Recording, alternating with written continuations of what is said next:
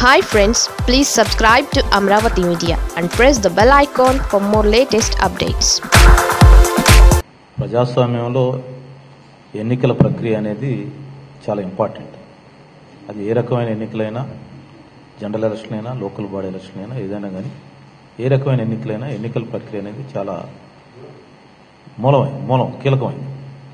అలాంటి ప్రక్రియని ఒక సాగుతో వాయిదా వేయటం అనేది ఎన్నికల కమిషన్ చాలా పొరపాటు పడింది. ఎన్నికల కమిషన్ అన్ని సాంప్రదాయాల్ని పద్ధతులను విస్మరించి రాష్ట్రంలో ఉన్న లోకల్ బాడీ ఎలక్షన్స్ అన్ని కూడా వాయిదా వేసింది. ఇది మంచి పద్ధతి కాదు. దీన్ని వెంటనే సమీక్షించుకోమని ఎన్నికల కమిషన్కి నేను విజ్ఞప్తి చేస్తా ఉన్నాను. అదేవిధంగా సంక్షేమ కార్యక్రమం. పేదవాళ్ళకి ఇళ్ళు ఇచ్చే కార్యక్రమం పేదవాళ్ళకి అనేక సంక్షేమ కార్యక్రమాలు చేసే కార్యక్రమాలను కూడా ఎన్నికల పేరుతో ఎన్నికల కోడ్ పేరుతో ఆల్రెడీ ఆన్గోయింగ్ ప్రాసెస్లో ఉన్న విషయాల్ని వాళ్ళు హ్యాండ్ ఓవర్ చేసుకోవడానికి కూడా చాలా తప్పు. పేదవాళ్ళ కోసం ముందుకు రావాలి. ఈవెన్ సెంట్రల్ ఎలక్షన్ కమిషన్ కూడా అనేక సందర్భాలు.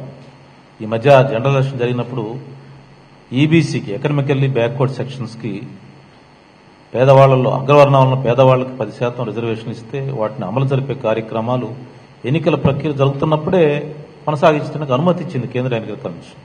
అలాంటి సాంప్రదాయం ఉంది. ఎన్నికల కోడ్లో కూడా ఆన్గోయింగ్ ప్రాసెస్ను ఆపకూడదును. పేదవాళ్ళ ఇళ్ళ స్థలాల్ని ఇచ్చే కార్యక్రమాన్ని ఈ ఎన్నికల ప్రక్రియలో ఆగి ఆపారు ఎన్నికల కమిషన్. మళ్ళీ ఇప్పుడు ఆరు వారాలు వాయిదా వేయడం ద్వారా మళ్ళీ ఆగిపోతాయి. అంటే పేదవాళ్ళకి ఎంత నష్టం చేస్తున్నారో ఒకసారి ఆలోచించుకోవాలి.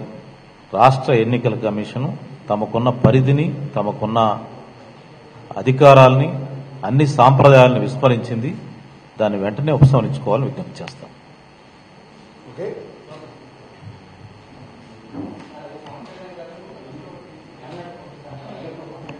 లిస్ట్ ఒకటి తీసి.